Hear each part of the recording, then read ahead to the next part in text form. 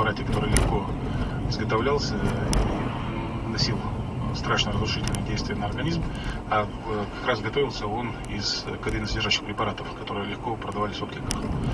Вот. э, Сейчас можно сказать, что вот эта тема дизоморфина, она э, во многом уже ушла в прошлое.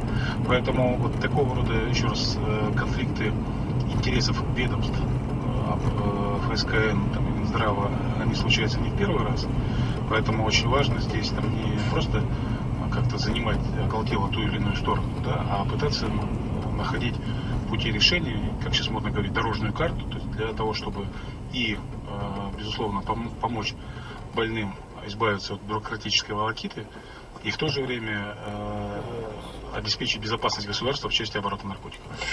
Ну, ну да, все это замечательно, дорожные карты э, и так далее, но э, больные в это время терпят, да, э, потому что только к 22 июля им разработать документ, а что там будет дальше непонятно.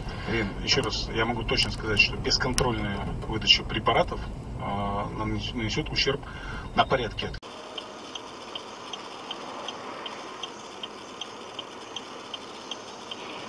Опа! Ух ты, круто. Ну вот тут сейчас будет пробенция.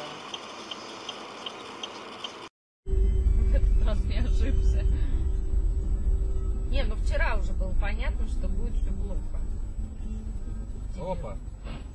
Он что, вообще что ли? Он что, дурак что ли? Ну, это дурак. На чем?